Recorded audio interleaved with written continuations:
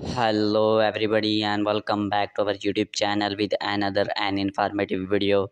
So guys today's video we will show you how to fix vidmate link expired so guys don't worry we have got a solution for you to fix this common vidmate issues.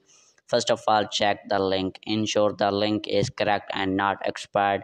Then try a different link. If the link is expired and try finding a different link to use same uh, video then clear vidmate cache and data guys. Open settings and you need to scroll it down. Type on app management type on app settings and you need to wait for some seconds and scroll it down and find the vidmate guys. So you need to scroll it down guys and find the vidmate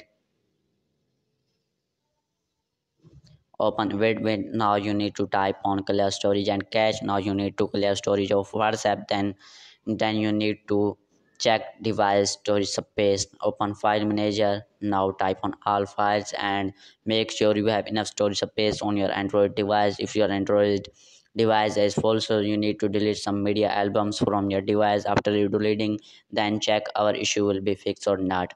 If our issue not fixed and these methods are not working well then uninstall vidmate app then reinstall it. So you need to type on long press on vidmate now you need to uninstall vidmate then reinstall it. After do this then you need to check conflict with other apps.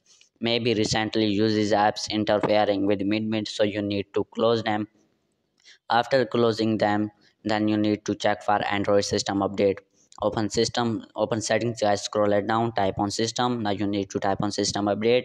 If you have any kind of available updates so you need to update your android device from online update and local update. After updating then your issue will be fixed as early as soon so guys this is the an informative video. Hopefully subscribe to our youtube channel for more tech tips and tricks to help you resolve common issues with your devices and services